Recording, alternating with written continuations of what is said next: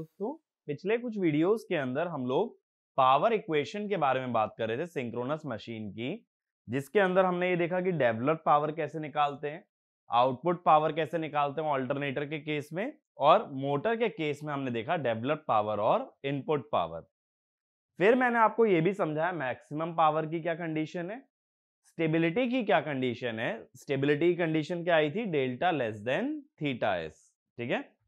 इसके बाद हमने बात की, अगर आर्मेचर रेजिस्टेंस इग्नोर कर दिया जाए, तब पावर की इक्वेशन क्या बनती है? ये भी हम लोगों ने देखा।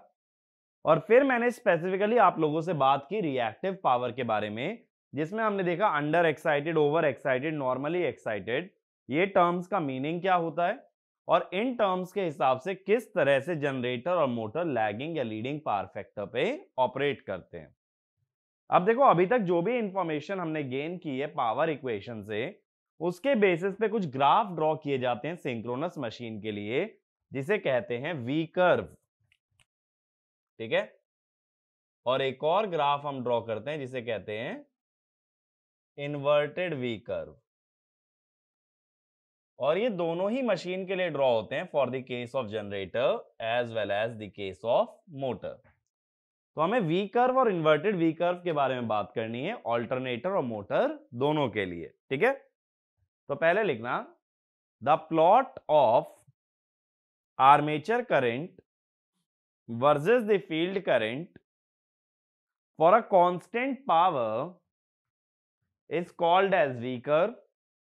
Next point, the plot of power factor versus field current at a constant power is called as inverted V curve. तो अपने पास दो तरह के कर्व आने वाले हैं वी कर्व और inverted V curve V curve में प्लॉट करोगे armature current versus field current और इन्वर्टेड वी कर्व में power factor versus field current लेकिन दोनों ही ग्राफ में कंडीशन क्या है? That load must be constant तो सबसे पहले ऑल्टरनेटर से स्टार्ट करता हूँ, ठीक है? पहले बात करने वाला हूँ ऑल्टरनेटर की। अब मैं ये बोल रहा हूँ, ये मान के चलो कि भाई आउटपुट पावर इज़ कांस्टेंट ठीक है? आउटपुट पावर क्या होती है जनरेटर की? V T I A cos phi ठीक है? इज़ कांस्टेंट अब मान लो कि generator is connected to infinite bus bar. Infinite bus bar का मतलब देखो बेसिक सा इतना होता है कि इस पे large number of generators connected है। तो लार्ज नंबर ऑफ़ जनरेटर्स जब कनेक्टेड होते हैं तो हम ये कहते हैं VT and frequency are constant अभी के लिए इतना बेसिक याद रखो बस कि वीटी और फ्रीक्वेंसी कांस्टेंट होते हैं for the case of a infinite bus bar अगर Vt कांस्टेंट है तो ये जो इक्वेशन हमने लिखी है, इसको नीचे लाते हुए मैं ऐसा लिख सकता हूँ कि I A cos phi is constant अब हमने तो पावर की एक और इक्वेशन पढ़ी है, जो पिछले कुछ वीडियोस में हमने कवर किया है, कि पावर का एक्सप्रेशन ये भी होता है E F V T by XS sine delta ठीक है? इसका मतलब है आर ए को इग्नोर कर रखा है, ठीक है? तो इसके ब्रैकेट में लिख भी देना आर्मेचर रेजिस्टेंस इग्नोर्ड अब देखो वीटी तो फिक्स है एक्सेस डिपेंड करता है फ्रीक्वेंसी पे। अगर फ्रीक्वेंसी भी कांस्टेंट है तो एक्सेस भी कांस्टेंट है।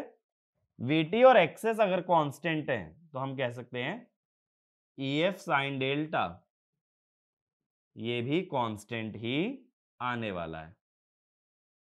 तो अब अपने पास दो इक्वेशन आ गई। एक तो I A cos phi constant और एक E F sine delta constant अब देखो ग्राफ बनाने से पहले वी कर्व या इन्वर्टेड वी कर्व हमें इसका फेजर डायग्राम बनाना पड़ेगा for the case of alternator अब फेजर डायग्राम कैसे बनता है? सबसे पहले देखो वीटी बना लेंगे। वीटी तो फिक्स रखना है ना? ये हो गया वीटी अभी के लिए आईए ले लो एक, जिसे मैंने बोल दिया आई ए वन, लैग कर रहा है और इसका एंगल है फाइव वन।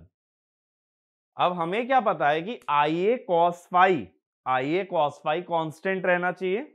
तो कॉस फाइव कौन सा कंपोनेंट होगा? वर्टिकल कंपोनेंट और साइन फाइव हॉरिजॉन्टल कंपोनेंट। तो हम ये बोल देंगे कि करंट का वर्टिकल कंपोनेंट कांस्टेंट ही आना चाहिए आई ए कॉस फाइव तो इसमें लिखना I A cos phi represents the component of current in the same phase as the voltage और the vertical component which must remain constant यानी देखो आई ए कॉस फाइव कितना भी आईए बदले, इतना ही आना चाहिए, दो लाल लाइन के बीच का डिफरेंस अब हमें क्या पता है जनरेटर के अंदर ईएमएफ e कैसे निकलता है? अगर आर ए इग्नोर्ड है तो ईएफ e होता है VT plus J I XS यही होता है ईएफ e तो जे आई ए जे आई ए का मतलब आई ए में 90 डिग्री का शिफ्ट और कैसा शिफ्ट क्लॉकवाइज या एंटी क्लॉकवाइज प्लस 90 है, इसीलिए एंटी क्लॉकवाइज ये 90 डिग्री हो गया। ये आ गया आई ए वन एक्सेस अब ये दोनों जुड़ के क्या बना देंगे? ई एम एफ़ तो इसको हमने लिख दिया ई एफ़ वन। अब ईएमएफ e वीटी से कितना एंगल लीड करता है हमेशा डेल्टा तो ये हो गया डेल्टा वन। अब हमारे पास दूसरी कंडीशन और थी कि E F sine delta must be constant अब ई एफ़ साइन डेल्टा क्या होगा? ई एफ़ के भी दो कंपोनेंट होंगे हॉरिजॉन्टल और वर्टिकल तो ई एफ़ साइन डेल्टा जो होगा ना, वो ये होगा।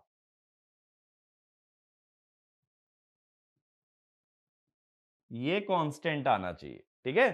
क्योंकि डेल्टा वर्टिकल से एंगल है तो वर्टिकल कंपोनेंट हुआ कॉस डेल्टा और हॉरिजॉन्टल हुआ साइन डेल्टा यानी ईएफ का जो फेजर का टिप है, वो इस ब्लू लाइन पे ही लाई करे। ऐसे ही आईए के फेजर का टिप रेड लाइन पे ही लाई करे। तो यार लिख भी लेना, अपनी लैंग्वेज में लिख लेना कि आईए का टिप रेड लाइन पे लाई करना चाहिए और ई एफ़ का टिप ब्लू लाइन पे। अब देखो, एक और ई एफ़ मैं ले लेता हूँ।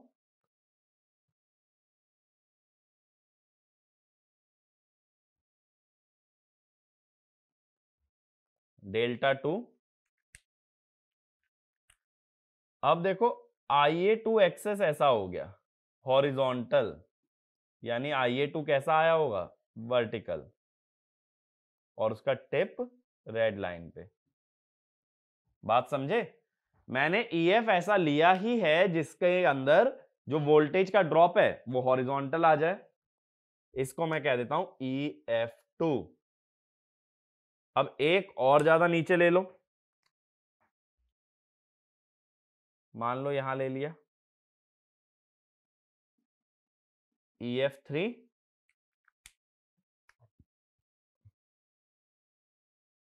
ये आ गया आई ए थ्री एक्सेस अब ये जो आई ए थ्री एक्सेस है, ये किसी पे परपेंडिकुलर होगा करंट पे? तो करंट ऐसा होना चाहिए। तो करंट कैसे आ जाएगा इस टाइप से? आई ए थ्री और ये एंगल फाइव थ्री। यानी करंट लीड करने लगा। देखो इस डायरेक्शन में तो बोला मैंने करंट। आई ए एक्सेस और आई ए आपस में परपेंडिकुलर आते हैं। तो मैंने आई ए एक्सेस से परपेंडिकुलर बनाया, वही हमारा आर्मेचर करंट है। अब देखो हमें प्लॉट क्या करना है? हमें प्लॉट करना है ग्राफ एक आर्मेचर करंट का और एक ग्राफ हमें प्लॉट करना है किसका? फ़ील्ड करंट का। ठीक है? सॉरी, पावर फैक्टर का। आर्मेचर करंट और पावर फैक्टर दो ग्राफ बनाने और किसके अगेंस्ट बनाने हैं? फ़ील्ड करंट के अगेंस्ट बनाना पड़ेगा। अब अगर देखो ऐसा करने वाले हो तो ये करो कि फ़ील्ड करंट को ना ग्रेजुअली इंक्रीज करो। आईएफ को ग्रेजुअली इंक्रीज करो। तो हम क्या कहते हैं? As I F increases as I F increases जो ईएमएफ आता है, वो कितना होता है? 4.44 F N P H phi M K W अब ये जो फाइव एम है, ये तो खुद आई एफ़ के प्रोपोर्शनल होता है। तो इसका मतलब है एज आई एफ़ इंक्रीजेस जो ईएमएफ है, वो ईएमएफ भी बढ़ता है। फ़ील्ड करंट के साथ साथ ईएमएफ भी ग्रो करता है। अब ये जो फेजर हमने बनाया, इस पे ध्यान दो। थ्री से बड़ा लेंथ है टू का टू से बड़ा लेंथ है वन का। तो हम ये कह सकते हैं आई एफ़ थ्री से बड़ा होगा आई एफ़ टू और आई एफ़ टू से बड़ा होगा आई एफ़ वन क्योंकि ई एम एफ़ भी ऐसे ही बढ़ रहे हैं। थ्री से बड़ा आ रहा है टू और टू से बड़ा आ रहा है वन तो अब हमें ये देखना है कि फ़ील्ड करंट बढ़ाते हुए हम थर्ड वाले केस से फ़र्स्ट वाले केस की तरफ़ जा रहे हैं तो चेंजेस क्या क्या आ रहे हैं? पहले चेंजेस में किसके बारे में बात करनी है? आर्मेचर करंट और दूसरी हमें बात करनी है पावर फैक्टर अब आर्मेचर करंट को ही देखें। आर्मेचर करंट गया आई थ्री से आई ए टू पे और फिर आई ए वन पे। अगर ये एक राइट एंगल ट्राइंगल की तरह व्यू करो तो राइट एंगल ट्राइंगल में जो परपेंडिकुलर होता है, वो स्मॉलेस्ट साइड होती है और हाइपोटेनिस जो होता है वो लार्जेस्ट साइड होती है। तो इसका मतलब क्या हुआ? आई ए थ्री और आई ए वन हमेशा आई ए टू से बड़े ही होंगे। बात सोच के देखो आई ए टू वर्टिकल है, अगर ग्राफ में भी देखोगे फेजर में भी देखोगे, ये चीज़ क्लियर समझ आ रही है कि आई ए थ्री और आई A one I A to से बड़े हैं। तो मैं यहाँ ऑब्जर्वेशन लिख देता हूँ। Observation and I A two I A one sorry are greater than I A two ठीक है? अब ऐसे पावर फैक्टर की बात कर लो। पहले आई ए थ्री थ्री से वन की तरफ़ जा रहे हो ना? आई ए थ्री लीडिंग था आई ए टू यूनिटी था वीटी और ए सेम फ़ेज़ में थे और आई ए वन लैगिंग था। तो मैं कहता हूँ power factor three lead power factor two unity power factor one, lag. तो ये ट्रेंड बन रहा है आर्मेचर करंट और पावर फैक्टर का। अब अगर यही ट्रेंड बनने वाला है तो इससे ग्राफ कैसे ड्रॉ होगा, इस पे बात करते हैं। ठीक है तो ये रिमूव कर रहा हूँ। अब देखो, आईए में क्या समझ आ रहा है कि थ्री से वन की तरफ़ जाते हुए पहले टू पड़ेगा।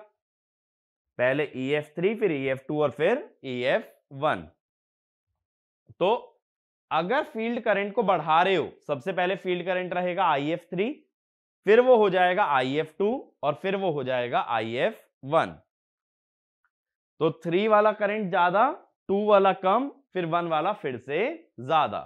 तो इसमें लिखना as field current is increase from I F three to I F one the armature current first decreases from IA3 to IA2 and then again increases from IA2 to IA1 ठीक है?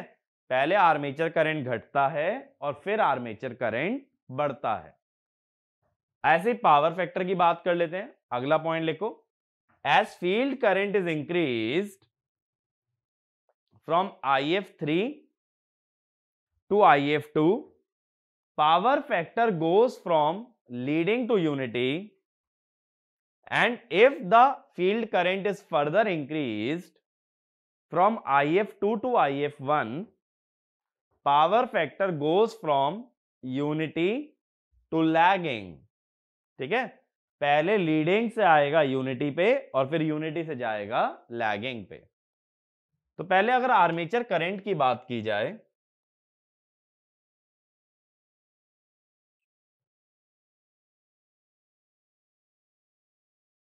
तो हमें graph बनाना है armature current versus field current. हमने क्या बोला? हमने बोला, भाई, पहले आर्मेचर करंट घटता है, थ्री से टू पे जाता है और फिर बढ़ता है। तो आर्मेचर करंट पहले घटता है और फिर बढ़ता है। अब ये मान लो ये वाला ग्राफ नो लोड के लिए अगर बनाए ठीक है? अब हम लोग क्या कहेंगे कि भाई, ये वाला जो मिनिमम आर्मेचर करंट है, वो कौन सा आई ए टू तो यहाँ पे पावर फैक्टर क्या रहेगा? यूनिटी और यहाँ पे मशीन को कह सकते हो normally excited unity power factor की कंडीशन होती है नॉर्मली एक्साइटेड नॉर्मल एक्साइटेशन से नीचे होता है, अंडर एक्साइटेड, और इससे ऊपर होता है, ओवर एक्साइटेड। अब जनरेटर की बात चल रही है, अंडर एक्साइटेशन का मतलब कि एक्साइटेशन कम है तो आर्मेचर रिएक्शन कैसा होना चाहिए? मैग्नेटाइजिंग, और वो होता है लीडिंग पावर फैक्टर पे। इसीलिए इधर पावर फैक्टर आता है लीडिंग और इधर पावर फैक्टर आता है लैगिंग बात क्लियर हुई? अब देखो नो लोड का मतलब है कि कोई लोड कनेक्टेड नहीं है। मान लो लोड कनेक्ट कर दिया जाए। लोड कनेक्ट कर दो या ज़्यादा पावर अगर मशीन से ड्रॉ करोगे तो आर्मेचर करंट ज़्यादा ही आएगा। तो ज़्यादा पावर ड्रॉ करने से ज़्यादा करंट आता है। ये मान लो P3, P2, P1 तो P3 greater than P2 greater than P1 जितना ज़्यादा पावर ड्रॉ करोगे, उतना ही ज़्यादा करंट रिक्वायर्ड होगा। अब ये जो यूपीएफ वाले पॉइंट्स है ना, इनको अगर जोड़ दो तो ये यूपीएफ का कंपाउंडिंग कर्व आता है। याद करो ऑल्टरनेटर की कैरेक्टरिस्टिक में हमने दिखाए थे कंपाउंडिंग कर्व जो लास्ट कर्व होते थे, उसमें हम I F versus I A plot करते थे।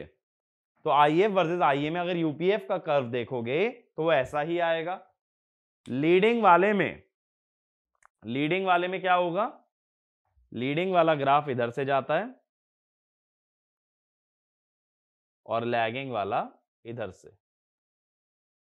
ये कौन से ग्राफ हैं इसके ऊपर? कंपाउंडिंग कर्व तो कंपाउंडिंग कर्व भी सुपर इंपोज कर सकते हैं in case of V curve क्योंकि उसमें आई एफ़ वर्सेज आई आई तो प्लॉट करते हो। तो एक बार ये वाला पॉइंट लिख लेना। The dotted curve on V curve represent the compounding curve in which we study variation of field current with armature current at different power factors ठीक है? नेक्स्ट पॉइंट लिखो।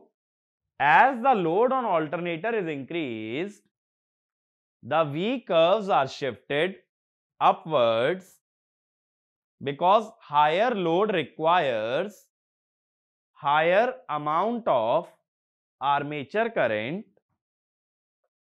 Hence, for same power factor, the current will increase.